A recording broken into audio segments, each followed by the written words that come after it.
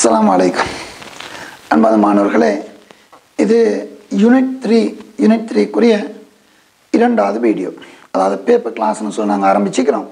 இது இரண்டாவது வீடியோ இந்த வீடியோவுக்கு நான் ஒரு பேர் இட்டிக்கிறேன் யூனிட் த்ரீயின் இலகு வினாக்கள்னு சொல்லி. இப்படி நான் சொல்ல ஒரே காரணம் நான் முதலாவது வீடியோவில் உங்களுக்கு சொல்லிவிட்டேன். மூன்றாம் அழகு ரசாயன கணிப்புகளில் ஃபைனல் எக்ஸாமுக்கு தேவையானது என்னன்றது நான் சொல்லிவிட்டேன். இவ்வளோ விடயங்களை நாங்கள் படிக்கிறோம் ஆனால் எக்ஸாமுக்கு தேவை நியமிப்பு. இந்த நியமிப்பில் மூன்று வகைகள் உங்களுக்கு தெரியும் நான் சொல்லிக்கிறேன். ஒன்று அமிலக்கார நியமிப்பு. அடுத்து அயடோமான நியமிப்பு. அடுத்து அட்சியேற்ற தாழ்த்தல் நியமிப்பு. இந்த மூன்று நியமிப்புகள் தான் மாணவர்களே ஃபைனல் எக்ஸாமுக்கு வருவது. இதனால் முதலாம் அழகில் முதல் வீடியோவில் நான் உங்களுக்கு சொல்லிவிட்டேன். இந்த மூன்றிலும் நான் எண்பது வீதம் என்று சொல்ல இல்லை தொண்ணூறு வீத வினாக்கள் மூன்றாம் அலகில் இந்த மூன்று தலையங்கங்களுக்கு தான் வரும். இதை விட்டு நான் சொன்ன இப்போ ஏதோ ஒரு பத்து வீதம் விடுபடுகுதே அந்த பத்து வீத வினாக்கள் தான் இது. பத்து வீத வினாக்கள் தான் இது. இந்த வீடியோ ஆரம்பிக்கும் போதே மாணவர்கள் நீங்கள் செய்ய ஒரு முக்கியமான வேலை என்னென்றால் உங்களுக்கு நல்லது நினைக்கிறேன். அநேகமாக இது உங்களுக்கு உங்களோட யூடியூப்பில் பார்க்கலாம். டூ தௌசண்ட் டென் முப்பத்தி மூன்றாம் கலை டூ தௌசண்ட் ஃபிஃப்டீன் ஆறு டூ தௌசண்ட் செவன்டீன் ஆறு டூ தௌசண்ட் டென் நான்கு. இப்படி நான் எழுதிக்கிறேன். அப்படி ஒரு பதினாறு வினாக்கள் இங்கே போர்டில் எழுதிக்கிறேன். இந்த பதினாறு வினாக்களை நீங்கள் நோட் பண்ணி போட்டு வீடியோவை நிறுத்துங்க. பிறகு என்ன செய்யுங்க? பதினாறு வினாக்களையும் செய்து முடிங்க. செய்து முடிச்சு போட்டு இப்போ நான் ஒவ்வொரு வினாவாக செய்துக்கிட்டு போகிறேன் அதனால் இந்த வீடியோ அனைவரும் நான் எதிர்பார்க்குறேன் ஒரு நாற்பத்தி ஐந்து நிமிடம் கூட வரலாம்னு எதிர்பார்க்குறேன். அநேகமாக ரைட் அப்போ இது நீங்கள் என்ன செய்கிறீங்க எவ்வளோ எழுதி போட்டு நீங்கள் முதல்ல செய்யுங்க மாணவர்களை. செய்த பதினாறையும் செய்து முடிச்சு போட்டு ஆண்டுகள் உங்களுக்கு கொள்கை எழுதிக்கிறேன் செய்து முடிச்சு போட்டு பிறகு நான் இந்த வீ இந்த பதினாறு குறிப்பு நான் இந்த வீடியோவில் செய்து முடிக்க பார்க்குறேன் இன்ஷா இல்லை அப்போ நீங்கள் என்ன செய்யணும்? அதை நான் செய்த நீங்கள் செய்த பிறகு பிறகு ஒன் பண்ணி தொடர்ந்து பார்த்துக்கிட்டு போங்க. நீங்கள் நான் செய்கிறத ஒப்பிட்டுக்கிட்டு போங்க. அதான் பிரயோசனமாக இருக்குது நல்லது மாணவர்களே இதான் இந்த வீடியோட நோக்கம். இந்த அந்த நான் சொல்லிக்கிறேன். அமிலக்கார நியப்பு இடமான ஒட்சியத்தை அந்த மூன்று நியப்புகளை விட்டு அதுக்கு வெளியில் வரக்கூடிய வினாக்கள் தான் இரண்டாம் வீடியோவில் வருகுது. மூன்றாம் வீடியோவிலும் ஒரு சில முக்கியமான பிரச்சனையான எம்சிக்கு கேள்வி அனைவரும் ஒரு ஏழு எட்டு கேள்வி வரலாம்னு நினைக்கிறேன். முக்கியமான சில கேள்விகளாக இருக்கும் பொதுவாக கஷ்டப்படுற கேள்விகள். அநேகமாக மாணவர்களுக்கு உள்ள அந்த குழப்பம் அந்த கேள்விகளை செய்கிறதில்ல ரைட் நாலாவது வீடியோ இன்ஷா அல்லா உங்களுக்கு தொடர்ச்சியாக இந்த பகுதிக்குள்ளே வரும். முதலாம் வீடியோ உங்களுக்கு தெரியும் ஐடோமானியை அப்படின்ற எம்சிக்கு நான் செதிக்கிறேன் கட்டாயமாக முழுமையாக அதை பாருங்க மாணவர்களே. அநேகமாக கூட நாலாம் வீடியோ அமிலக்காரணியை இப்போ நான் செய்து போட்டு அதுக்கப்புறம் ஐந்தில் ஒட்சியர் தாத்தல் வளமையான கேள்விகளுக்கு நாங்கள் போவோம். நல்லது மாணவர்களே ஒரு முக்கியமான விடயம். நான் முதலாம் வீடியோவில் மாணவர்களே எனக்கு சொன்னது போல ஞாபகம் இல்லை. நான் கொஞ்சம் அவசரமாக கதைக்கு முதல் சிறிய பிள்ளை விட்டு நினைக்கிறேன். அங்கே நான் சொன்னது போல் என்னுடைய ஞாபகமானவர்களே இந்த சோடியம் தயோசல்ஃபேட் ஒரு முத நியமம் அல்ல அது உங்களுக்கு தெரியும். எனவே இரண்டு நியம கரைசல் நேரடியாக தயாரிக்க முடியாது. என்ன செய்யணும்? இன்னும் ஒரு முத நியமத்தால் நியம வளவாக்கத்துக்கு உட்படுத்தி தான் இந்த கரைசலை நாங்கள் தயாரிக்கணும். இதன் நியம வளவாக்கம் செய்வதற்கான முத நியமங்கள் இரண்டு இருக்குது இரண்டு இருக்குது. ஒன்று கே ஐஓ த்ரீ திண்மம் பொட்டாசியம் அயோடைட் திண்மம். இதோட முத நியமாக பயன்படுத்தி இதை நியம வளவாக்கத்துக்கு உட்படுத்தலாம் அல்லது பொட்டாசியம் டைக்ரோமேட் பொட்டாசியம் டைக்ரோமேட் திண்மமும் முத நியமமாக பயன்படுத்தப்பட்டு சோடியம் தயோசல்பேட் கரைசலை நியம வள வாக்கத்துக்கு உட்படுத்தலாம். ரைட் என்னுடைய ஞாபகமானவர்களே இந்த தயோசல்பேட்டின் நியம வளவாக்கத்துக்கு இது மட்டுமே முதல் நியமம்னு நான் சொன்னது போல ஞாபகம் கவனம் சிறிய பிள்ளையில் பெரிய பிள்ளை ஏன் இது நியமம் இரண்டு முதல் நியமங்கள் இருக்குது அதனால் கவனமானவர்களே முதலாம் வீடியோவில் நான் அப்படி சொன்னது போல் ஞாபகம். அப்படி இருந்தால் கட்டாயம் திருத்திக் கொள்ளுங்க நான். நம்ம யூடியூப் போட்டு விட்டேன். அதனால் எனக்கு நான் திரும்ப பார்க்கலாமா இப்போ நான் சேர்த்து போகும்போது எனக்கு ஞாபகம் வருது. அதனால் கவனமானவர்களே இந்த இரண்டுமே முதல் நியமங்கள் இதன் நியமோட வாக்கத்துக்கு அதே போல் கே ஐஓ த்ரீ இதுக்கு மட்டுமல்ல முதல் நியமம். இது ஒரு அமிலத்தின் HCl-இன் எஸ்டிஎஸ்ஓவின் நியமவளாக்கங்களுக்கும் இது ஒரு முதனியமாக பயன்படுத்தலாம். அதுபோல் இதுவும் இதுக்கு மட்டுமல்ல இன்னும் பல இடங்களில் முதனியமங்களாக இருக்கு. ரைட் எனவே இந்த கருத்து நான் புலவிட்டு இருந்தால் முதலாம் வீடியோவில் கவனமானவர்களே நான் அடிக்கடி நான் சொல்கிற வசனம் ஒரு சிறிய ஒரு பிள்ளை போதும் தலையெழுத்தை மாற்றிவிடும். இறைவன் பாதுகாக்கணும். நான் அவசரமாக உங்களை செய்துக்கிட்டு போகிறேன் எனக்கும் சரியான பயம். இதுவும் ஒரு சிறு பிள்ளை வந்துட்டால் கவனம் அது வாழ்க்கையை மாற்றலாம். இறைவன் பாதுகாக்கணும். நல்ல மாணவர்களே நாங்கள் ஆரம்பிப்போம். ஆஹ், கேள்விக்கு வரும். முதலாம் வினாவுக்கு வரும். நல்லது மாணவர்களே நான் முதலாம் வினாவுக்கு வருவோம். இப்போ நான் சொல்கிறேன் உங்களை பதினாறு வினாக்கள் இங்கே அங்கே செய்ய போகிறோம் ரைட் முதலாவது வினா. டூ தௌசண்ட் டென்னுக்குரிய முப்பத்தி மூன்றாம் கேள்வி. முப்பத்தி மூன்றாவது எம்சிக்கு அந்த வினா உங்களுக்கு சொல்லுது எஸ்டோட் ஹைட்ரஜன் பெராக்சைடுன்னு ஒரு லிட்டர் நீர் கரைசல் இருக்குது. இந்த கரைசல் முற்றாக வெப்ப பிரிகை அடைந்து ஆக்சிஜன் வாயுவை தருகுதான் அதன் மொத்த கனோட எட்டு லிட்டர் அப்படின்னு சொன்னால் இந்த கரைசலில் எஸ்டோட்டுவின் செறிவு என்னவாக இருக்கலாம்? முல்பு லிட்டரில் அதான் உங்களுடைய கேள்வி. ரைட் எப்படி ஆரம்பிக்கலாம்? முதல் வேலை எஸ்டோட்டுன்னு நீங்கள் பிரிகை தாக்கத்துக்கு வரணும். இந்த ஹைட்ரஜன் பெராக்சைடுன்னு சொன்ன பிள்ளைகளை நீங்கள் தொடர்ந்து படிக்கலாம். இன்ஆர்கானிக்கில் படிப்பீங்க. சூரிய ஒளிக்கு விரைவாக ஊக்கிக்கு விரைவாக அரை வெப்பநிலையிலே பிரிகடையும். ரைட் ஒளி அல்லது ஊக்கி இருந்தால் இன்னும் விரைவாக பிரிகடையும்.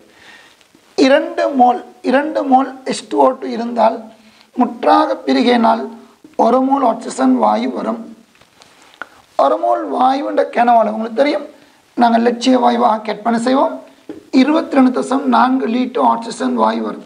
இப்போ இரண்டு மோல் எஸ்டுஓட்டு இருந்திருந்தால் அவ்வளவு லீட்டர் வரும். தரவு சொல்லுதோ எட்டு லீட்டர் ஆக்சிஜன் வருகுதாம் அப்படின்னு சொன்னால் எத்தனை மோல் எஸ்டுஓட்டு இருக்கலாம்னு முடிவு கண்டுபிடிங்க. என்ன பின்னம்?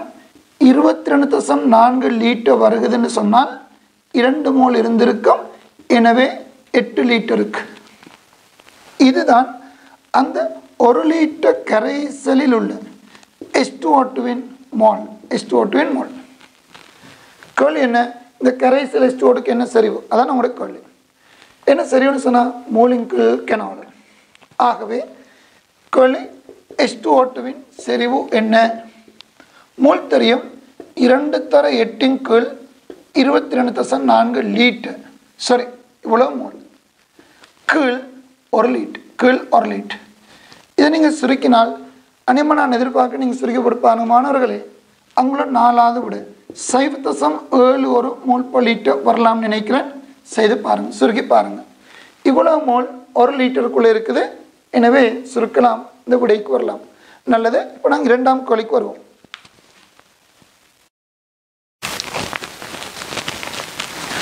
சரி மாணவர்களை இரண்டாம் வினாவில் இது டூ தௌசண்ட் ஃபிஃப்டீனுக்குரிய ஆறாம் எம்சிக்கு அப்போ நீங்கள் தயாராக கேள்விகளை வாசி உங்களுக்கு விளங்கும்.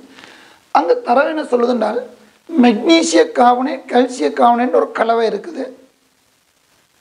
அதன் திணிவு தெரியாது டபிள்யூ கிராம்னு சொல்லுவோம். ஆனால் மூல் விகிதம் தெரியுமா? ஐந்துக்கு ஒன்று மெக்னீசிய காவனேட் ஐந்துக்கு ஒரு மூல் கல்சியக்கான விகிதம் விகிதம் விகிதம். ஐந்து மூல் ஒரு மூல் அல்ல ஐந்துக்கு ஒன்று விகிதம். முற்றாக வெப்பப்பிரிவுக்கு உட்படுத்தும் போதும் உங்களுக்கு தெரியும் மெக்னீஷியம் ஆக்சைடு கல்சியம் ஆக்சைடு பிரிகடை சிஓட்டு வாய் வரும். தரவு சொல்லுதோ மொத்தம் பதின் நூற்றி முப்பத்தி நாலு தசம் நான்கு லீட்டர் சிஓ டூ வாய் வருகுதாம். நியமம் எப்படின்னு நமக்கு தெரியல கேள்வி என்ன? வெப்பம் வெப்பமேற்றப்பட்ட அந்த கலவையின் மொத்த திணிவு என்ன? மொத்த திணிவு என்ன? இதான் கேள்வி. நல்லது மாணவன் நாங்கள் ஆரம்பிப்போம். மூல் விகிதம் ஐந்து கொண்டோம் எனவே நாங்கள் இதை எண் ஐந்து என்னன்னு சொல்லுவோம். மூளை எண் ஐந்து என்னன்னு சொல்லுவோம். ரைட் உங்களுக்கு தெரியும் மெக்னீசிய கார்பனேட் முற்றாக பிரிகடையும் போதும். மெக்னீசியம் ஆக்சைடுடன் CO2 வாயு வரும். இதில் ஐந்து எண்மூல் இருந்தால் அங்கேயும் ஐந்து எண்மூல் வரும். அதே போல் கல்சிய கார்பனேட் எண்மூல் முற்றாக பிரியும் போதும். கல்சிய கார்பனேட்டுன்னு எண்மூல் முற்றாக பிரிகடையும் போதும். இந்த எண்மூலுக்காக எண்மூல் சிஓ டூ வாய் வரும். எனவே இங்கு வரக்கூடிய CO2வின் மொத்த மோல் மொத்த மோல் ஆறு எண். ஒரு எண்ணுக்கு ஐந்து எண் சொன்னால் அங்கு வரக்கூடிய CO2 மொத்த மோல் ஆறு எண். இந்த ஆறு எண் மோல் ஆறு எண் மோல் CO2 கனவுல தான் நியம வெப்பநிலை அமுக்கத்தில் நூற்றி முப்பத்தி நாலு தசம் நான்கு லீட் ஆகவே இந்த தரவை பயன்படுத்தினா முதலில் என்ன கணிச்சிக்கலாம்? ரைட் எவ்வாறு கணிக்கலாம்னு சொல்லுங்கள் எங்களுக்கு தெரியும் ஒரு மூலின் கெனவாலு வாய்க்களின் கெனவாலு லட்சியவா என்று கற்பனை செய்வோம். இருபத்தி ரெண்டு தசம் நான்கு லீட்டு. இருந்தால் அது ஒரு மூல். எனவே இவ்வளோ லீட்டருக்காக எத்தனை மூல் இருக்கலாம் என்று கண்டுபிடிப்போம். அப்போ விடைக்கு வரோம் பாருங்கள் மாணவர்களை. இருபத்தி ரெண்டு தசம் நான்கு லீட்டருக்கு ஒரு மூல் எனவே நூற்றி முப்பத்தி நாலு தசம் நான்கு லீட்டருக்கு. இது இந்த மூல் எதுக்கு சமன்? சிக்ஸ் என் மூலுக்கு சமன்.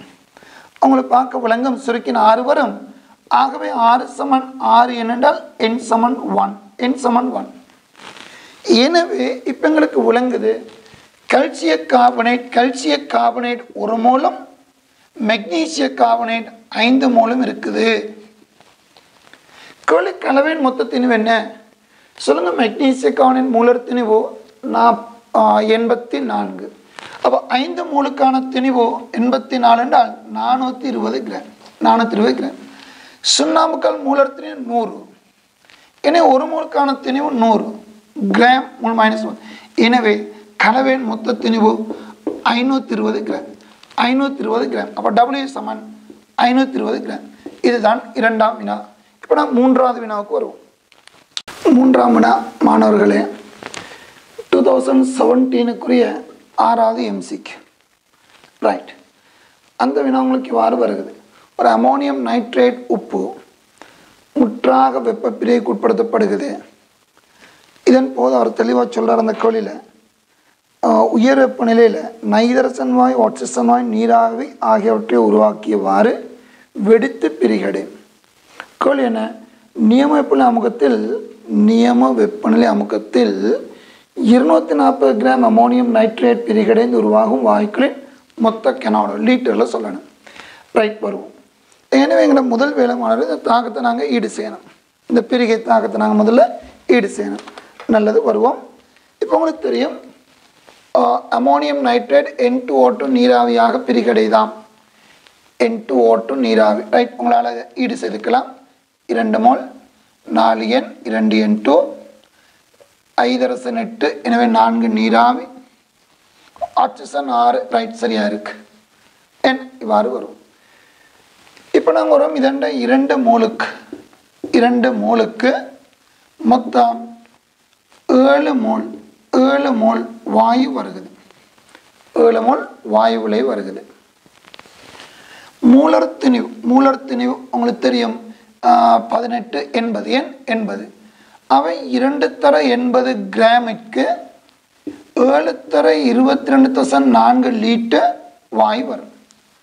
ஏன் நாங்கள் லட்சிய வாய்ந்த கற்பனை செய்வோம். உலக கலவையை அவை ஒரு மூலருக்குனாலும் உங்களுக்கு தெரியும். கேள்வி இருநூற்றி நாற்பது கிராமுக்காக எவ்வளவு லீட்டர் வாய் வரும்? தான் உங்களுக்கு கேள்வி. நல்லது. ஆகவே என்ன?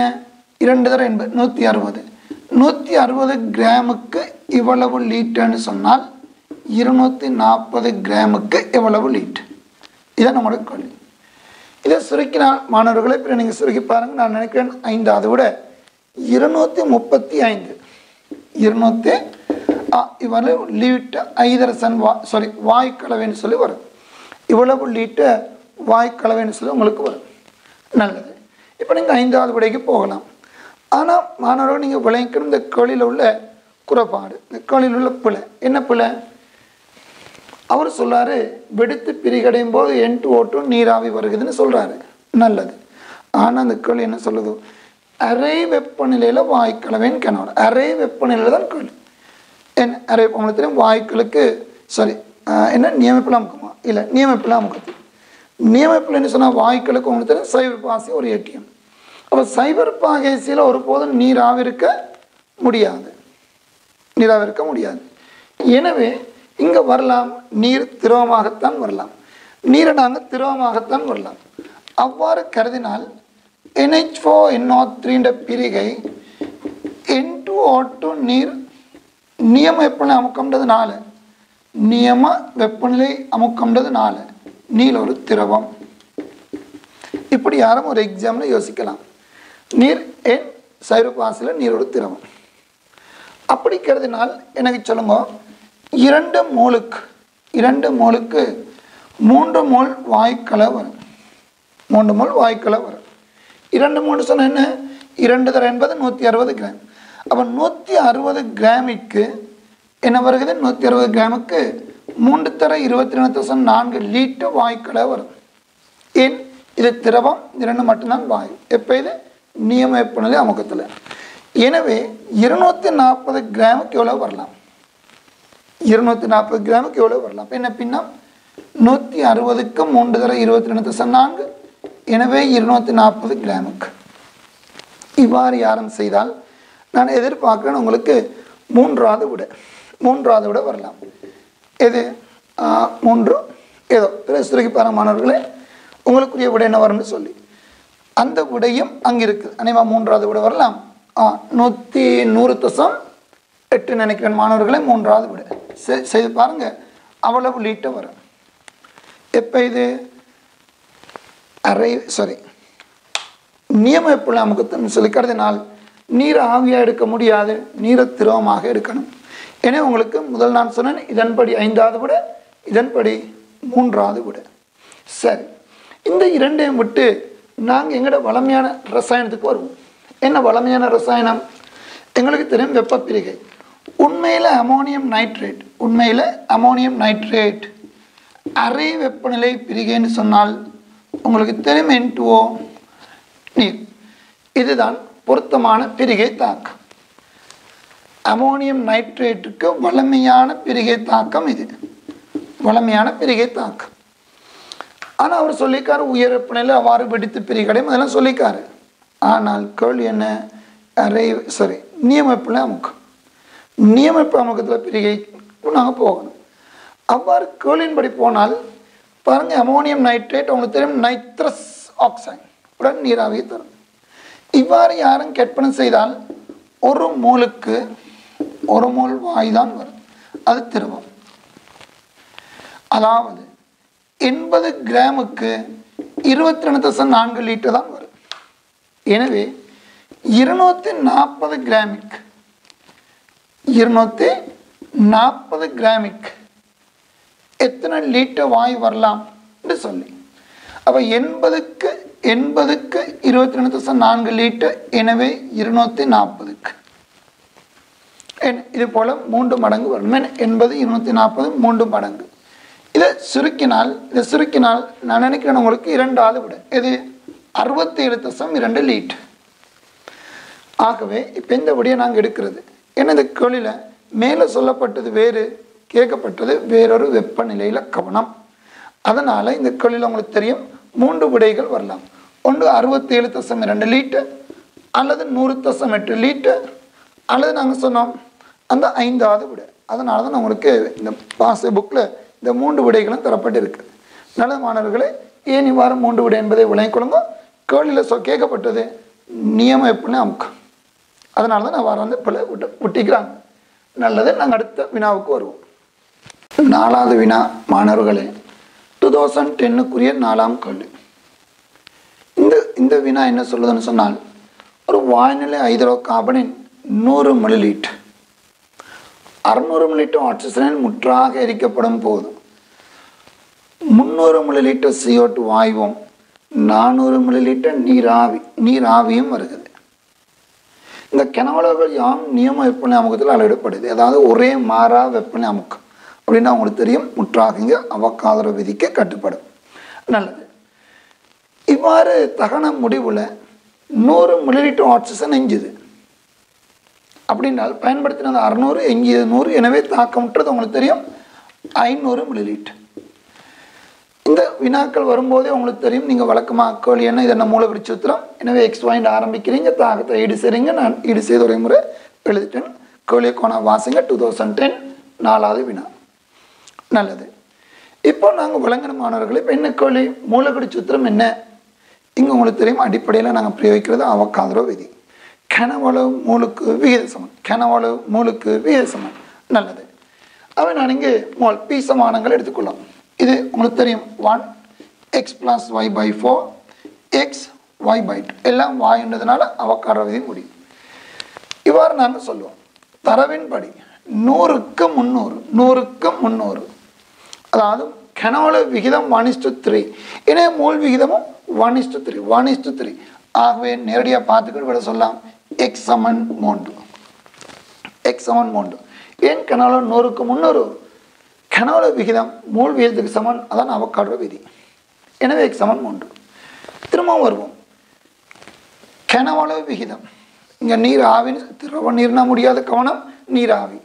எனவே கனவளவு விகிதம் ஒன் இஸ்டு ஃபோர் மூல் விகிதம் one is to y by two அப்போ என்ன விளங்குது? ஒய் பை டூன்னு சொன்னது நான்கு என்ன ஒய் செவன் எட்டு ஒய் செவன் எட்டு ஆகவே மூலவரி சூத்திரம் சி த்ரீ ஹெச் எயிட் இது ஒரு முறையில் அந்த விட வருகிறது உண்மையில் மாணவர் இந்த கொலிக்கு தரவு கூடுதலாக இருக்குது அவசியம் இல்லை. எது அவசியம் இல்லை? இந்த தரவு அவசியம் இல்லை. சரி இப்போ நாங்கள் ஒரு முறையில் விட எடுத்துட்டோம். அடுத்து இன்னும் ஒரு முறையில் விட எடுப்போம் பாருங்கள் இது எங்களுக்கு தெரியாதுன்னு விட்டுடுவோம். இந்த இரண்டு இந்த மூணு தரவுகளால் விட எடுக்கலாமே வாரு. இதன்படி உங்களுக்கு தெரியும் எக்ஸ் எக்ஸ் சமன் மூன்று. ஏன்னா ஒன் இஸ் டூ எக்ஸ் கெனாலோ ஒன் இஸ் டூ த்ரீ எனவே எக்ஸ் சமன் மூன்று. அடுத்து இந்த இடத்துக்கு வரும் இந்த இடத்துக்கு வரும் ஏன்னா கெனாலோ கெனாலோ விகிதம் ஒன்றுக்கு ஐந்து. மூல் விகிதம் ஒன்றுக்கு x plus y by four அப்போ என்ன விளங்குது? X plus y by four சமன் ஐந்து ஐந்து. ஆனால் எக்ஸுக்கு மூன்றுன்னு தெரியும். பிரதிட்டா ஒய் பை ஃபோர்னு சொன்னது இரண்டு. ஒய் பை ஃபோர் இரண்டு. ஒய்க்கு நான்கு இரண்டு. ஒய் சமன் எட்டு ஒய் சமன் எட்டு இவ்வாறு இந்த நான்கு கனவளவுகளும் அவசியம் இல்லை. மூன்று தரப்பட்டால் போதும். ஏதோ இந்த கொள்ளியில் ஒரு தரவு அதிகமாக இருக்குது நலமலன் அடுத்த வினாவுக்கு வரும். அவங்களுக்கு ஐந்தாவது வினா டூ தௌசண்ட் டுவெல்வுக்குரிய ஏழாம் கேள்வி. இந்த வினாள் இவ்வாறு வருகிறது. என்ஹெச் நைதரசனின் ஒரு ஐதரைட் மூலவடி சூத்திரம் ஏபி என் ஏஹெச்பின்னு தரப்படுது. அதாண்டு இருபது மில்லிலிட்டர் வாய்நிலை நைதரசின் ஒரு ஐதரைட் இருபது மில்லிலிட்டர் மிகை ஆக்சிஜன் முற்றாக எரிக்கப்படும் போது அதே வெப்பநிலையில் என் டுவின் பத்து மில்லிலிட்டரும் நீராவி கொதிநீராவின் முப்பது மில்லிலிட்டரும் தரப்படுது. அப்போ இவ்வளோ விளைவாகுதுன்னு சொன்னால் கேள்வி இந்த ஹைதரைட்டின் சூத்திரம் என்ன? ஏ நீங்கள் கண்டுபிடிக்கணும். அதான் இந்த கேள்வி. ஆகவே நாங்கள் இவ்வாறு வருவோம். இந்த இடத்துல கனவளவு விகிதம் பாருங்க இருபதுக்கு பத்துக்கு முப்பது. இந்த கனவளவுகள் ஒரே மாறா வெப்பநிலை அமுக்கத்தில் இருந்தால் உங்களுக்கு தெரியும்? அவக்காதர விதிக்கு நாங்கள் போகலாம்.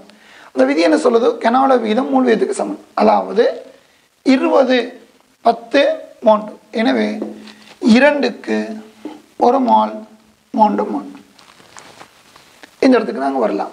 கனவளவு மூலாக்கிறது கருதுறோம் என்ன அவக்காடுற விதி? ரைட் இருபது பத்து மூணுன்னு சொன்னது. இரண்டுக்கு ஒன்றுக்கு மூன்று. இனி நாங்கள் அணுக்களை சாப்பிடுத்துவோம். மாணவர்களை பாருங்கள். இந்த பக்கம் இரண்டு எண் இரண்டு எண். இங்கே எண்ணுன்ற எண்ணிக்கை டூ ஏ எண்ணுக்கு நைதரசன் எண்ணிக்கை நைதரசன் அணுக்கள் எண்ணிக்கை டூ ஏ அப்போ டூ ஏ சமன் அங்கே இரண்டு. ஆகவே ஏ சமன் ஒன் ஏ சமன் ஒன் அடுத்து வரும் ஐதரசன் அணுக்களின் எண்ணிக்கை. இங்கு ஐதரசன் அணுக்கள் எண்ணிக்கை பி இரண்டு இருக்கனால டூ பி ஹெச் அணுக்களின் மொத்த எண்ணிக்கை டூ பி டூ பி அங்கே ஹெச் அணுக்களின் மொத்த எண்ணிக்கை ஆறு. ஆகவே பி சமன் மூன்று. பி சமன் மூன்று. ஏ ஒன் பி த்ரீ எனவே சூத்திரம் என் ஹெச் த்ரீ என் இதனக்குரிய விட நீங்கள் இலகுவாக இந்த விடைக்கு வரலாம். இப்போ நாங்கள் அடுத்த வினாவுக்கு வருவோம். ஆறாவது வினா இரண்டாயிரத்தி பதினாறுக்குரிய எட்டாம் கேள்வி. வினா இவ்வாறு வருது ஆகும் ஒரு இலகுவான வினா. ஒரு சேதன சேர்வையில் கார்பனின் நிறைப்படியான சதவீதம் திணிவு சதவீதம். ஐதரசனின் ஆக்சிசனின் திணிவு சதவீதம். இந்த தரவு தந்து போட்டு என்ன அனுபவ சூத்திரம்னு சொல்லி ஆக அடிப்படையான ஒரு கேள்வி. ரைட் உங்களுக்கு தெரியும் வழக்கமாக திணிவு சதவீதம் அஹ், நிறை வீதம் அடுத்த வசனம் என்ன? அணு விகிதம் அணு விகிதம் என்ன செய்யணுமா? திணிவை சாரண திணிவால் பிரிக்கணும். அணுத்திணிவால் பிரிக்கணும். எனவே அணுத்திணிவால் நீங்கள் பிரிக்கலாம். பன்னிரெண்டு முப்பத்தி ஆறு ஏறத்தால் உங்களுக்கு விளங்க ஒரு த்ரீ பாயிண்ட் ஒரு த்ரீ ஃபோர் போல் வரலாம். ஆறு தசம் ஏழு மூன்று பதினாறு மூன்று நாற்பத்தி எட்டு எனவே அதுவும் ஒரு த்ரீ பாயிண்ட் நாற்பத்தெட்டு திரும்பவும் அதே ஐம்பத்தி மூணு எனவே மூன்று மூன்று ஒரு நாலு போல் எழுதிக்கலாம். ஒரே பார்வையில் உங்களுக்கு விளங்கு மாணவர்களை பார்க்க விளங்கு. ஏறத்தாழ விகிதம். One two one one two one எனவே இதன் அனுபவ சூத்திரம். சிஎஸ் என் இது ஒரு இலகுவான கேள்வி அடுத்து வரும் ஏழாவது வினா டூ தௌசண்ட் தேர்ட்டீனுக்குரிய நாலாவது எம்சிக்கு கேள்வி உண்மையில் இந்த கேள்வியில் ஓரளவு ஆர்கானிக் அறிவியங்களுக்கு தேவைப்படும் மாணவர்களே ஒரு சிலர் எக்ஸ் எனும் ஒரு சேர்வை சிஹெச்ஓ மூன்று அணுக்கள் மட் மூலகங்கள் மட்டுமே இருக்குது அதனால் மிக அளவில் acetyl chloride CS three COCL சேர்க்கும் பொழுதும் ஒரு விளைவு வருகிறது இந்த ஆரம்ப எக்ஸை விட அந்த விளைவுண்ட திணிவு நூற்றி இருபத்தி ஆறு அலகுகளால் அதிகரிக்குது. அப்படின்னு சொன்னால் இங்கே எத்தனை ஓஹெச் கூட்டம் இருக்கலாம் ஹைட்ராக்சி கூட்டம் எத்தனை இருக்கலாம்னு சொல்லி. உங்களுக்கு திரும்ப ஆர்கானிக் ஆர்கானிக் தாக்கம். நான் ஒரு ஆர்ஓஹெச்னு சொல்கிறேன் இதுக்கு நாங்கள் ஒரு அசட்ரைல் குளோரைட்டு சேர்த்தால் உங்களுக்கு தெரியும் வரக்கூடிய விளைவு ester ester O CO CS three வரும். ஹெச்சிஎல் விடுவிக்கப்படும்.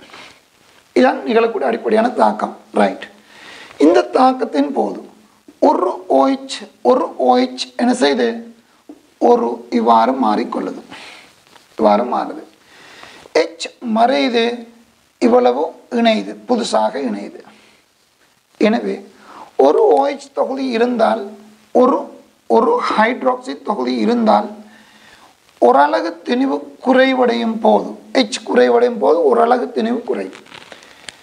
இந்த தொகுதிகளா இந்த தொகுதியான இருபத்தி நாலு இருபத்தி ஏழு நாற்பத்தி மூன்று ஏன்?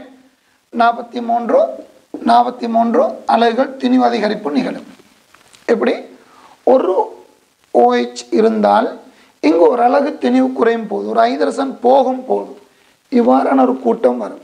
இந்த கூட்டத்தின பாரம் நாற்பத்தி மூன்று அலகுகள் பாரம். எனவே ஒரு ஓஹெச் இருந்தால் விளைவாக நீங்கள் விளங்கணும். நாற்பத்தி ரெண்டு அலகுகள் திணிவு அதிகரிப்பு நிகழும். ஒரு ஹைட்ராக்சி இருந்தால் நாற்பத்தி ரெண்டு அலகுகளில் திணிவு அதிகரிப்பு. ஏன் நாற்பத்தி மூன்று அதிகரிக்கும்? ஒன்று குறையும் முடிவு நாற்பத்தி ரெண்டு அதிகரிக்கும். ஆனால் தரவு என்ன சொல்லுது? நூற்றி இருபத்தி ஆறு அலகுகள் அதிகரிக்குதாம். அப்படின்றால் இங்கே எத்தனை ஓஹெச் கூட்டம் இருக்கலாம்? எத்தனை ஹைட்ராக்ஸ் இருக்கலாம்னு கேட்குறாரு நாற்பத்தி ரெண்டு அதிகரிப்புனால் ஒரு ஓஹெச் எனவே நூற்றி இருபத்தி ஆறுக்கு மூன்று ஹைட்ராக்சி கூட்டம் இருக்கணும். இந்த எண்ணிக்கை தான் நம்மளோட கேள்வி. நல்ல மாணவர்களே நாங்கள் அடுத்த வினாவுக்கு வருவோம். எட்டாவது வினா மாணவர்களே டூ தௌசண்ட் டுவெல்வுக்குரிய எட்டாவது எம்சிக்கு கேள்வி. அந்த வினா இவ்வாறு உங்களுக்கு வருகிறது. ஒரு எம்னு சொல்லக்கூடிய உலோகத்தின் நீரேற்றப்பட்ட கார்பனேட் இதண்ட பதினைந்து தசம் ஆறு கிராம் முற்றாக வெப்பப்பிரிகைக்கு உட்படுத்தப்படும் போது உலோக ஆக்சைட்டுன்னு நாலு கிராம் வருகுது இனி எங்களுக்கு தெரியும் சிஓ டூ நீராவி வருது இங்கே உங்களுக்கு தெரியும் கார்பனேட்டுக்கு வலுவலோ இரண்டு எனவே எம்முண்ட வலுவலும் இரண்டாக இருக்கும். அதனால் ஆக்சைடு சூத்திரம் எம்ஓ நாங்கள் எழுதலாம். ரைட் இந்த தரவை பயன்படுத்தி என்ன கேள்வி? எம்முக்கு என்ன? சாரணத்தினிவு எம்முண்ட சாரணத்தினிவு நிலமான நாங்கள் வருவோம் இவ்வாறு. இங்கே எங்களுக்கு விளங்குது ஒரு மோல் உப்புக்கு ஒரு மோல் ஆக்சைடு வருகிறது. ஒரு மோல் உப்புக்கு ஒரு மோல் ஆக்சைடு உப்புண்ட மூலத்தினே கணிச்சுக்கொள்ளும். எம்முண்ட சாரணத்தினு தான் கோலி நாங்கள் டபிள்யூன்னு சொல்லுவோம். கார்பனேட் அறுபது. ஒரு பதினெட்டு நான்கு எழுபத்தி ரெண்டு எனவே இவ்வளவு கிராம் இவ்வளவு கிராம் உப்பை வெப்பமேற்றினால் எம்முண்ட சாணத்தின் டபிள்யூ ஓவுக்கு பதினாறு கிராம் உலோக ஆக்சைட் வரும். இது எங்களுக்கு விளங்குது. நாங்கள் சாணத்து எம்முண்ட சாணத்தில் டபிள்யூன்னு சொல்லுவோம். ஆனால் தரவு என்ன சொல்லுது? பதினைந்து தசம் ஆறு கிராமுக்கு நாலு கிராம் வருகுதான் எனவே அது இரண்டாம் சமன்பாடாக அந்த தரவை நாங்கள் எடுத்துக்கொள்ளோம் அவங்க என்ன பின்னம்? டபிள்யூ ப்ளஸ் அறுபது எழுபத்தி ரெண்டுன்னு சொன்னால் அப்போ டபிள்யூ ப்ளஸ் நூற்றி முப்பத்தி ரெண்டு உங்களுக்கு ரெண்டையும் கூட்டலாம். அவ்வளவுக்கு டபிள்யூ ப்ளஸ் பதினாறு வருகிறது. அது சமன் அது சமன். பதினைந்து தசம் ஆறுக்கு நாலு கிராம் வருகிறது. நாலு கிராம் வருகிறது. எனவே உங்களுக்கு என்ன செய்யணும்? இதை சுருக்கணும். தெரியாத கணியம் டபிள்யூ அவங்களுக்கு டபிள்யூ கணிக்கலாம். டபிள்யூ கணிக்கலாம். நான் நினைக்கிறேன் அதே மாதிரி இருபத்தி நாலு மெக்னீசியம் போல வரலாம் வருது போல விட உங்களுக்கு ஞாபகம் இருக்குது. ரைட் இதை மாதிரி பிறகு சுருக்கி பாருங்கள் அடுத்த கேள்விக்கு வரும். அடுத்து ஒன்பதாவது வினா. மாணவர்களே டூ தௌசண்ட் டென்னுக்குரிய பதினாலாம் கேள்வி. இந்த வினா இவ்வாறு வருகிறது. ஒரு சோடிய கார்பனேட்டும் சோடியம் இருகார்பனேட்டும் உள்ள ஒரு கலவை. அதன்ற நாலு கிராம் சலவை சோடா அப்பச்சோடா கலவை நாலு கிராம் முற்றாக வெப்பப்பிரிகைக்கு உட்படுத்தப்படும் போது சைவத்தசம் மூன்றொரு கிராம் திண்ணம் சாரி நிறை நட்டம் இருக்குதாம். இவ்வளோதான் தரவு. இந்த தரவை பயன்படுத்தி நீங்கள் என்ன செய்யணுமாம்? ஆரம்ப கலவையில் சோடிய கார்பனேட்டுன்ற நிறை வீத செறிவு டபிள்யூ டபிள்யூ வீதம் என்ன? இதான் நம்மளோட கேள்வி. ரைட் நாங்கள் உடையதுக்கு வருவோம். எங்களுக்கு தெரிந்த சலவை சோடா அப்பச்சோடா சாரி சோடிய கார்பனேட் அப்படியே வரும். வெப்ப பிரி கிடையாது அது அப்படியே வரும். பிரி கிடைவது அப்பச்சோடா மட்டும். சோடியம் பை இருகார்பனேட் மட்டும். ரைட் இப்போ நாங்கள் வருவோம். இந்த நிறைநட்டம் வர காரணம் சோடியம் இருகார்பனேட் தான். அதண்ட வெப்ப பிரிகை தாக்கத்துக்கு வந்தால் உங்களுக்கு திரும்பி இவ்வாறு பிரிகடையும் உங்களால் ஈடு செய்யலாம். ரைட் எனவே இரண்டு மோல் அப்பச்சோடா. இரண்டு மோல் அப்பச்சோடாவுக்கான நிறை நட்டம் நிறை நட்டம் வெப்ப பிரிகால வரக்கூடிய வாயு. ஒரு மோல் சிஓட்டுவும் ஒரு மோல் நீராவியும் வரும். உங்களுக்கு தெரியும் அப்பச்சோட மூலத்தினு எண்பத்தி நான்கு எனவே இரண்டு தர எண்பத்தி நாலு கிராம் இருந்தால் இருந்தால் அப்பச்சோடா நாற்பத்தி நான்கு ப்ளஸ் பதினெட்டு. அதாவது அறுபத்தி ரெண்டு கிராம் நிறை நட்டம் ஏற்படும். அப்போ நாங்கள் விளங்கணும் அறுபத்தி ரெண்டு கிராம் அறுபத்தி ரெண்டு கிராம் நிறை நட்டம் ஏற்பட்டால் அப்பச்சோடா அப்பச்சோடா இரண்டு தர எண்பத்தி நாலு கிராம் அப்பச்சோடா இருக்குது ஆனால் உங்களோட வினா கேள்வி சொல்லுது நிறை நட்டம் சைவ தசம் மூன்றொரு கிராம் நிறை நட்டம் சைவ தசம் மூன்றொரு கிராம் எனவே இங்கே எவ்வளோ அப்பச்சோட இருக்கலாம்? அதான் நம்மளோட கேள்வி. செலவைச்சோட இருக்காவனேட் எவ்வளோ இருக்கலாம்? சோடியம் இருக்காவனேட் அறுபத்தி ரெண்டுக்கு உங்களுக்கு தெரியும் எனவே முப்பத்தி ஒன்று அவை சைவ தசம் எட்டு நாலு கிராமேன் உங்களுக்கு விடைக்கு வரலாம்.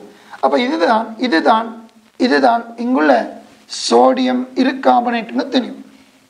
சோடியம் இருக்காபனேட் திணிவு எனவே சோடிய கார்பனேட்டின் திணிவு. எனவே கலவையில் உள்ள சோடிய கார்பனேட் திணிவுக்கு நாங்கள் என்ன செய்யலாம்? நாலில் இருந்து இதை கழிச்சால் இந்த சோடிய கார்பனேட் திணிவு வரும். மூன்று தசம் ஒன்று கிராம்.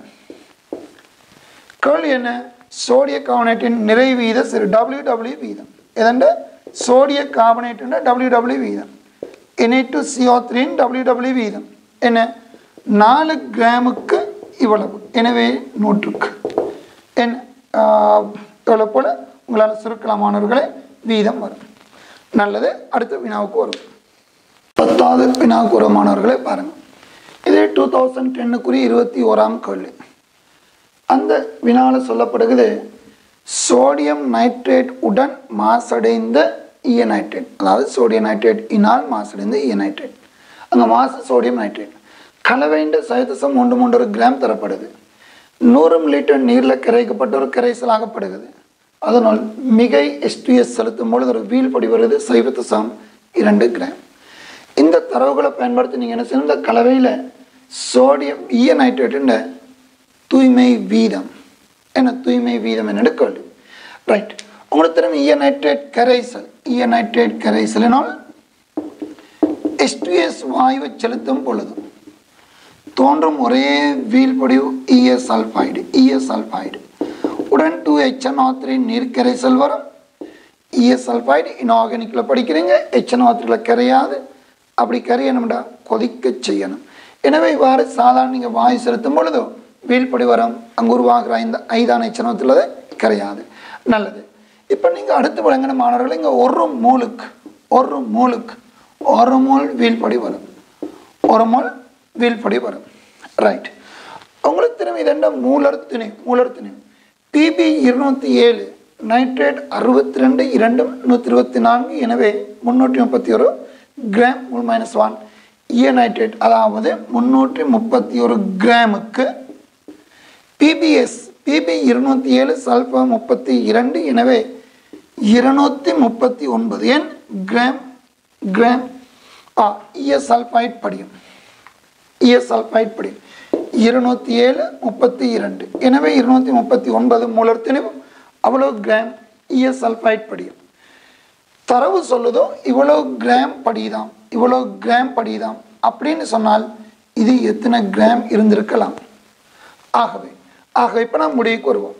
இந்த கலவையில் உள்ள ஈயநைட்ரேட்டுன்ற மொத்த திணி இவ்வளோ கிராம் கலவையில் உள்ள ஈயநைட்ரேட்டின் மொத்த திணி கலவையில் உள்ள PBNO three in thinim thinim என்ன பின்னம்? சைவத்தசம் இரண்டு கிராம் வீழ்பொடி வந்தால் சாரி இருநூற்றி முப்பத்தி ஒன்பது கிராம் வீழ்பொடி வருகுதுன்னு சொன்னால் முன்னூற்றி முப்பத்தி ஒரு கிராம் இருந்திருக்கு. எனவே சைவத்தசம் இரண்டு கிராமுக்காக இங்கே எத்தனை கிராம் இருந்திருக்குன்னு இயநைட்ரேட் இயநைட்ரேட் தெளிவு தெரியும். கேள்வி என்ன? தூய்மை வீதம். ஆகவே தூய்மை வீதம் சமன் தூய்மை வீதம் சமன்.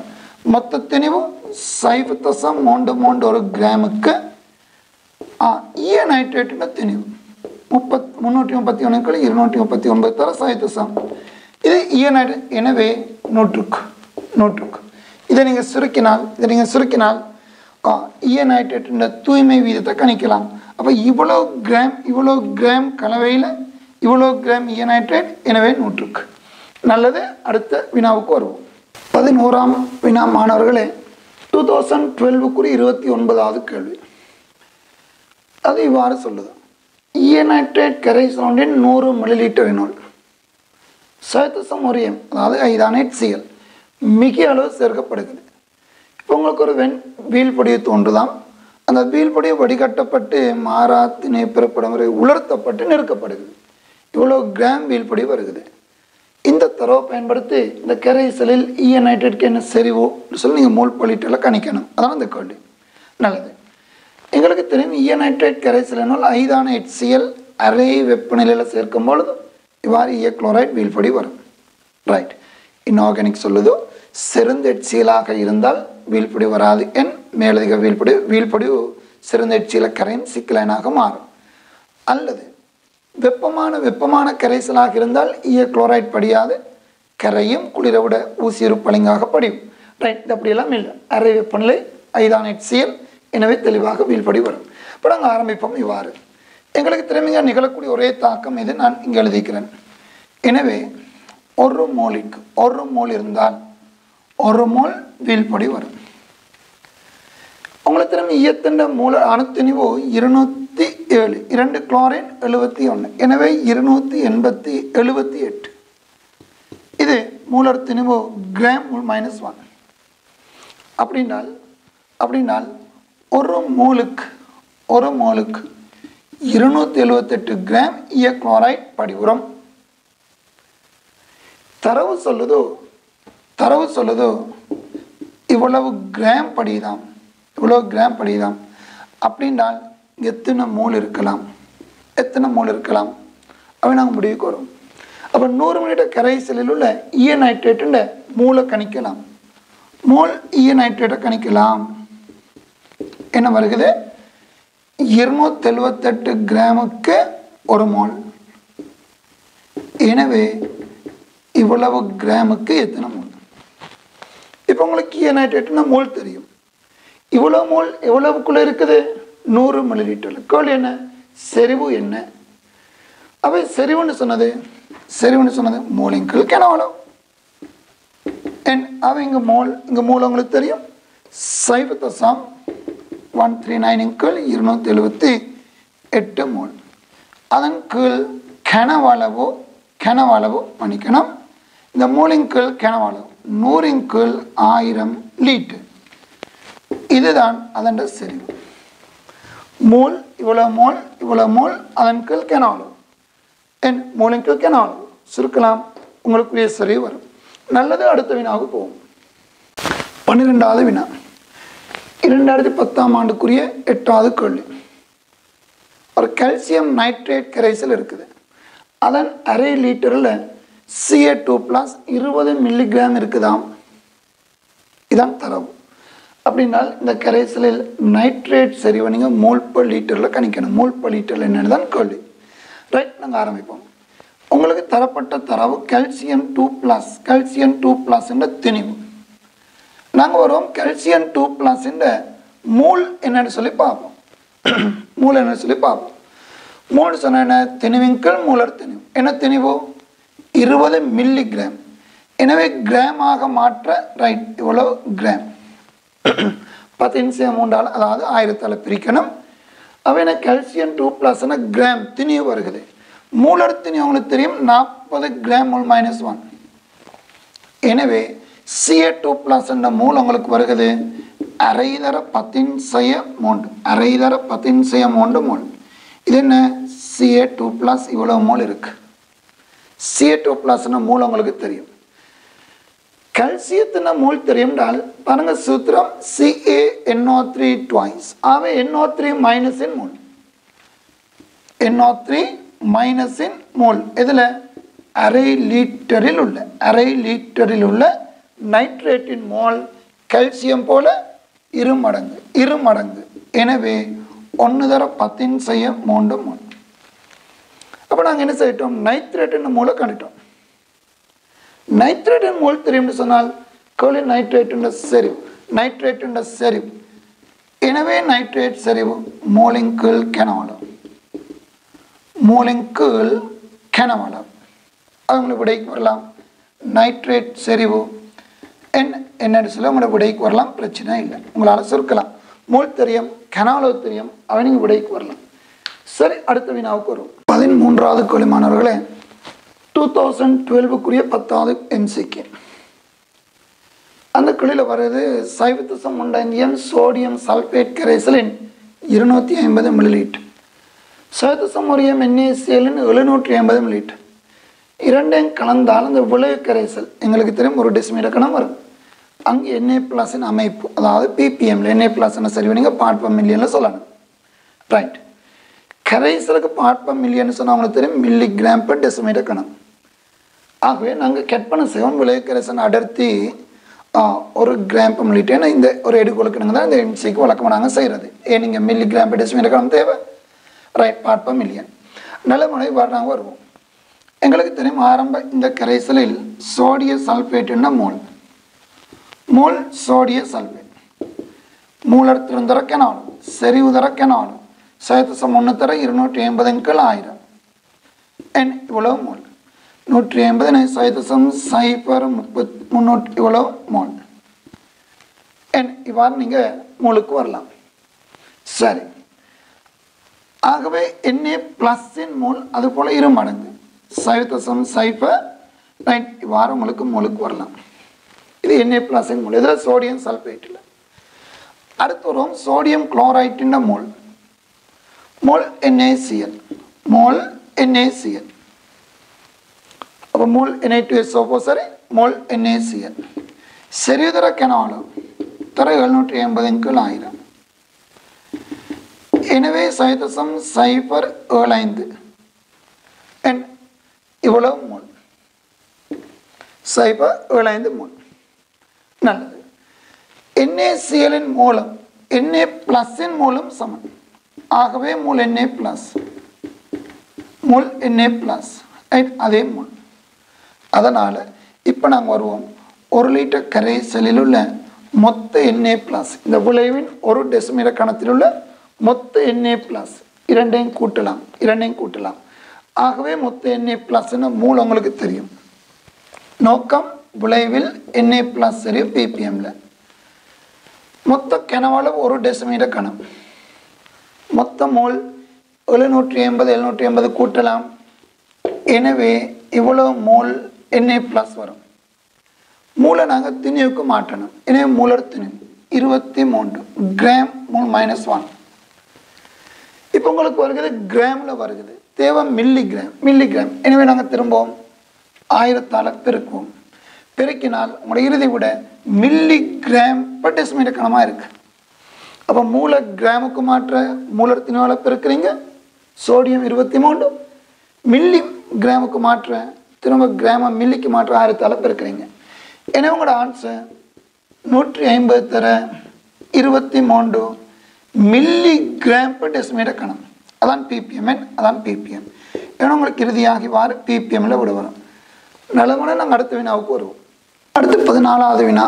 மாணவர்களே டூ தௌசண்ட் எயிட்டீனுக்குரிய ஆறாவது எம்சிக்கு கொள்ளு இந்த வினா இவ்வாறு வருகிறது. ஒரு சோடியம் ஹைட்ரைட்டின நீர்க்கரைசல் தரப்படுகிறது. அங்கே சோடியம் ஹைட்ரைட்டின நிறைவீத செறிவும் ஒன்று. கரைசலின் அடர்த்தி தெரியும். எனின் சோடியம் ஹைட்ரைட்டின் மூலர் திறன் என்ன? அதாவது செறிவு என்ன? மூல் லிட்டர் என்ன செறிவு? அதான் கேள்வி. சரி இவ்வாறு நாங்கள் ஆரம்பிப்போம். ஒரு மில்லி லிட்டரின் திணிவு உங்களுக்கு தெரியும். ஒரு லிட்டர் ஆயிரம் லிட்டரின் திணிவு. ஆகவே ஒரு லிட்டர் அதாவது ஆயிரம் மில்லி லிட்டர் ஆயிரம் மில்லி லிட்டர் சோடியம் ஐடைட் கரைசலின் திணிவு கரைசலின் திணிவு. உங்களுக்கு தெரியும் ஒரே முறை சொல்லிக்கூடும் ஆயிரத்தி முப்பது கிராம் எனவே ஒரு லிட்டர் அதாவது ஆயிரத்தி முப்பது கிராம் கரைசலில் உள்ள கரைசலில் உள்ள சோடியம் ஐடைட் சோடியம் ஐடைட் இன் மோல் மோல் சாரி அதுக்கு முதல்ல நான் புல விட்டேன். இது சோ சோடியம் அயடைட்டின் திணிவு. என்ன? ஒரு லீட்டர்னு சொன்ன மாணவர்களை விளைவிக்கணும் இவ்வளோ கிராம் எங்களுக்கு தெரியும் நூறு கிராம் கரைசலுக்குள்ள மூன்று கிராம் சோடியம் ஐடைட் எனவே கவனம் நான் பல விட்டேன் இவ்வளோ கிராம் சோடியம் ஐடைட் எப்படி? ஒரு லீட்டர்னு சொன்னால் ஆயிரம் மில்லி லீட்டர்னு சொன்னால் இவ்வளோ கிராம் இது கரைசலின் பாரம். அங்கே நூறு கிராமில் மூன்று கிராம் சோடியம் ஹைட்ரைட் எனவே இவ்வளோ கிராம் கரைசலில் சோடியம் ஹைட்ரைட்னு தெரியும். அடுத்து நாங்கள் வரோம் இவ்வளோ கிராம் இவ்வளோ கிராம் கரைசலில் சோடியம் ஹைட்ரைட்னு மோல் எவ்வாறு கணிக்கலாம்? எங்களுக்கு தெரியும். சோடியம் ஹைட்ரைட்டுன்னு மொத்தத்தினு. நூறு கிராம் கரைசலுக்குள்ள மூன்று கிராம் சோடியம் ஹைட்ரைட் எனவே இவ்வளோ கிராம் கரைசலில் உள்ள சோடியம் ஹைட்ரைட் ரைட் அப்படின்னாலும் இவ்வளோ ஒரு லிட்டர் அதாவது இவ்வளோ கிராம் கரைசலில் உள்ள சோடியம் ஹைட்ரைட்டுன்னு மோல் எவ்வாறு வரும்? பத்து தசம் மூன்று தர மூன்று கிராம் சரியா பத்து தசம் மூன்று தர மூன்று கிராம் கீழ் மூலர் திணிவு மூலர் திணிவு சோடியம் இருபத்தி மூன்று அயடின் நூற்றி இருபத்தி ஏழு எனவே நூற்றி ஐம்பது இலகுவா போயிட்டு. மூலர் திணிவு நூற்றி ஐம்பது கிராம் மைனஸ் ஒன் அதாவது உங்களுக்கு இப்போ என்ன தெரியும்? ஒரு லிட்டர் கரைசலில் உள்ள சோடியம் அயோடைட்டின் மூல் தெரியும். அதுக்குத்தான் என்ன பெயர்? மூலர் திறன் மூலர் திறன் ஆகவே மூலர் திறன் கீழ் நூற்றி ஐம்பது மூல் பர் லீட் மூல் பர் லீட் ஒரு லிட்டர் கரைசலுக்குள்ள ஒரு லிட்டர் கரைசலில் உள்ள அயோடைட்டின மோல்.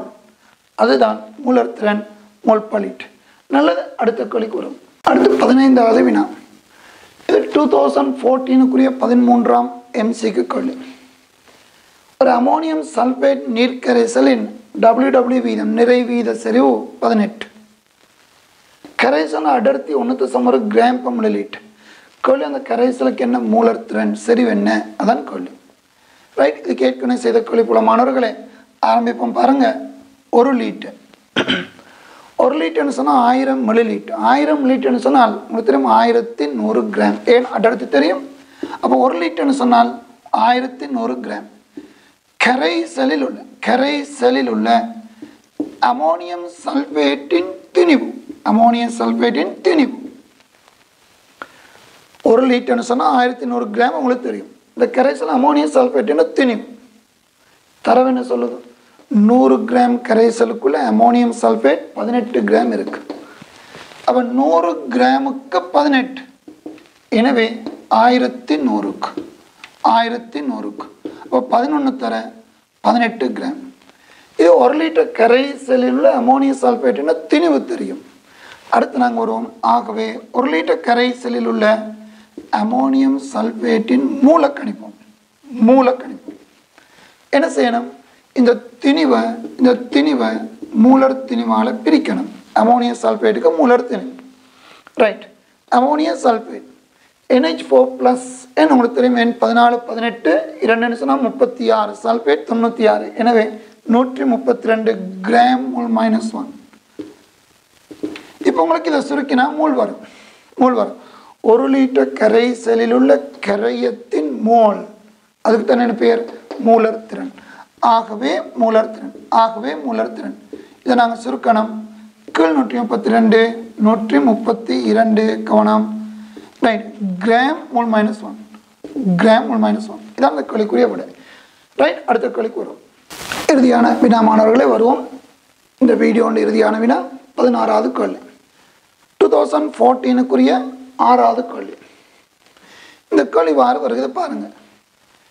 எம்ஜிசிஎல் டூ திண்மத்தின் இருநூற்றி எண்பத்தி ஐந்து கிராம்ல உள்ள அயன்களின் எண்ணிக்கைக்கு சமனான அயன்கள் என்ஏசிஎல் திண்மத்தின் எத்தனை கிராமுக்குள்ளே இருக்குது? இவ்வளோ இந்த கிராமுடைய எம்ஜிசிஎல் டூல உள்ள அயன்களின் எண்ணிக்கையும் இங்கே ஏதோ ஒரு திணிவு கேட்குறாரு. அந்த என்ஏசியில் உள்ள அயன்களின் எண்ணிக்கையும் சமனாக இருக்கணும். எவ்வாறு இந்த கணிப்பை செய்யலாம்? எத்தனை கிராம்? நாங்கள் சொல்லலாம் டபிள்யூ கிராம்னு சொல்லி. ரைட் இந்த இரண்டிலும் அயன்களின் எண்ணிக்கை சமமாக இருக்கணும். அயன்களின் எண்ணிக்கை சமமாக இருக்கணும். ரைட் எப்படி செய்யலாம்னு சொல்லி பார்ப்போம். நல்லது.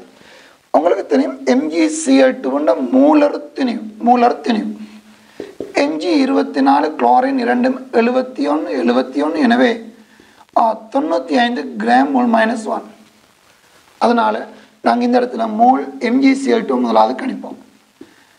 எம்ஜிசிஎல் டூவின் மோல் இருநூற்றி எண்பத்தி ஐந்து கிராமின் கீழ் தொண்ணூற்றி ஐந்து கிராம் மூல் மைனஸ் ஒன் அதாவது மூன்று மூணு அப்போ எம்ஜிசிஎட்டுவின் மோல் மூன்றாக இருந்தால் அயன்களின் மோல் அயன்களின் மோல். ஒரு எம்ஜிசிஎட்டுவுக்குள்ள எம்ஜி டூ ப்ளஸ் இரண்டு சிஎல் மொத்தம் மூன்று அயன்கள். எனவே மோல் அயன்கள் மொத்த அயன்கள் மூன்று தர மூன்று ஒன்பது மோல் அயன்கள் வரும். என்னென்ன அயன்கள்? எம்ஜி டூ ப்ளஸும் சிஎல் மைனஸுமாக மொத்தம் ஒன்பது மோல் அயன்கள் வரும். ரைட் மூல் சமனாக இருந்தால் எண்ணிக்கை சமம் உங்களுக்கு தெரியும். என்னென்ன மூலை சமப்படுத்துவோம் சொல்லுங்க ஒன்பது மூல் அயன்கள் வரணும்னு சொன்னால் என்ஏசிஎலுக்குள்ள இரண்டு அயன்கள். எனவே ஒன்பது மூல் அயன்களை பெற தேவையான என்ஏசிஎலின் மோல் நாலு தசம் ஐந்து. ஏன்? நாலு தசம் ஐந்து மூல் என்ஏசிஎல் வந்தால் அயன்கள் இரு மடங்கு ஒன்பது வரும். எனவே உங்களுக்கு தேவையான தேவையான என்ஏசிஎல் நாலு தசம் ஐந்து மோல். அப்போ இங்கே ஒன்பது மூல் ஆங்கிள் இருக்கிறதுனால அங்கேயும் ஒன்பது மூல் அயன்கள் இருந்தால் மூல் சமன் எனவே எண்ணிக்கை சமனாக இருக்கு. எனவே தேவையான என்ஏசிஎல் மூலில் சொன்னால் நாலு தசம் ஐந்து. கிராமில் சொல்கிறதாக இருந்தால் மூலர்த்தினி அளப்பெருக்கணும் இருபத்தி மூன்று முப்பத்தி ஐந்து தசம் ஐந்து ஐம்பத்தி எட்டு தசம் ஐந்து. ஐம்பத்தி எட்டு தசம் ஐந்து கிராம் மைனஸ் ஒன் எனவே தேவையான என்ஏசிஎலின் திணிவுக்கு நீங்கள் நாலு தசம் ஐந்து தர ஐம்பத்தி எட்டு தசம் ஐந்து. பெருக்கினால் அந்த கிராம் உங்களுக்கு வரும். உங்களால் இனி சுருக்கலாம் மாணவர்களே. நல்லது. இதான் உங்களுக்கு தேவையான என்ஏசிஎலின் திணிவு நல்லது மாணவர்களே இந்த வீடியோ இதனுடன் முடிவடையுது. நான் இதில் சொல்ல விலகிட்டது ஆரம்பத்தில் ஆரம்பிச்சு போனால் நான் உங்களுக்கு விட்டுட்டேன் மாணவர்களை சொல்லி முடிக்காமல். என்ன பிரச்சனை என்றால் இந்த பதினாறு எம்சிக்கு பாருங்க இந்த வடிவம். இப்போ நீங்கள் செய்த வடிவம். இதெல்லாம் எங்களுடைய ஸ்கூல் வழியட்டு எக்ஸாம் உங்களுக்கு தேவைப்படுமே தவிர நான் எதிர்பார்க்கல ஃபைனல் எக்ஸாம் இந்த காலம் இந்த வடிவக்கோழிகள் மிக குறைவு. அதுக்காக தவறேனும் ஒரு எம்சிக்கு வந்தாலும் ஒரு எம்சிக்கில் பெருமதி உங்களுக்கு தெரியும் நான் ஒரு வீடியோவில் சொல்லி போட்டிக்கிறேன் நாளும் சரியான. எனவே தான் நான் செய்து விட்டேன். அதை விட்டு இந்த கால எக்ஸாம் இந்த வடிவம் எந்த அளவுக்கு தேவைன்னு நான் சொல்ல வர இல்லை. இதுகளை நேரத்தை பெருசாக வீணாக்காதீங்க மாணவர்களே. இதை விட எக்ஸாமுக்கு தயாராகும் போது நான் திரும்பவும் சொல்கிறேன் நியமிப்புக்குரிய மூன்று வகைகளை மிக தெளிவாகிறீங்க. அதுதான் உங்களுக்குரிய எக்ஸாம் அதுதான் தேவை. உதாரணத்துக்கு நான் சொன்னா பாருங்க இதில் டூ தௌசண்ட் எயிட்டீன் ஒரு எம்சிக்கு இருக்குது உண்மைதான். டூ தௌசண்ட் செவன்டீன் ஒரு எம்சிக்கு இருக்குது சிக்ஸ்டீன் அதுவும் ஒரு எம்சிக்கு இருக்குது ஃபிஃப்டீன் அதுவும் ஒன்று இருக்குது ஃபோர்டீனும் ஒரு எம்சிக்கு இருக்குது என் ஞாபகமாக ஞாபகமா ஃபோர்டீனில் இரண்டு சாரி இது ஃபோர்டீன் ஒரு எம்சிக்கு இருக்குது ஒன்றா இரண்டு எம்சிக்கு ஏன்னு கவனிங்க வாரம் முன்னே இருக்குது. ஆனால் டூ தௌசண்ட் நைன்டீன் இந்த வடிவம் ஒரு எம்சிக்கு கூட வர எனவே நான் சொல்ல இல்லை டுவெண்ட்டிக்கு வராது வர இல்லைன்றதல்ல. வரலாம் என்றாலும் இந்த வடிவத்தை விட திரும்பவும் சொல்கிறேன் மூன்றாம் அழகுன்னு சொல்கிறது இது அல்ல. மூன்றாம் அழகுன்னு சொல்கிற கவனம். ஃபைனல் எக்ஸாமுக்கு தேவையானது மூன்று வகையான நியமிப்புகள். தயவு செய்து அதில் கவனம் பண்ணுங்க மாணவர்களே அதுதான் மூன்றாம் அழகு. அதை படித்து கொடுத்தா எனக்கு மூன்றாம் அழகு தெரியும்னு சொல்லணும். இதை விட்டு இதுகளை மொண்ட சூரிகளை செய்து போட்டு ஓ எனக்கு மூன்றாம் அலை செ- தெரியும்னு சொல்லி சொல்லக்கூடாது. சரி மாணவன் நாங்கள் சந்திப்போம். அடுத்த வீடியோவில் அடுத்த உங்களோட மூன்றாம் வீடியோவில் அநேகமாக நான் சில பிரச்சனையான மூன்றாம் அழகுல நீங்கள் சந்திக்கக்கூடிய சில பிரச்சனை கணிப்புக்களை கொஞ்சம் சிக்கலான கொள்கையில் அவன் செய்து கொடுக்க போகிறேன் ஒரு எம்சிக்கு எனக்கு அநேகம் ஆறு ஏழு எம்சிக்கு வரலான்னு நினைக்கிறேன். அவ்வளோதான் அதை செய்துட்டு வந்தால் அதுக்கு அடுத்த நாலாம் வீடியோ உங்களுக்கு தனியாக நியமிப்பு சார்ந்த கொள்கைகளாக இருக்கும். நல்ல மாணவர்களை சந்திப்போம். அலாம் வலைக்கம்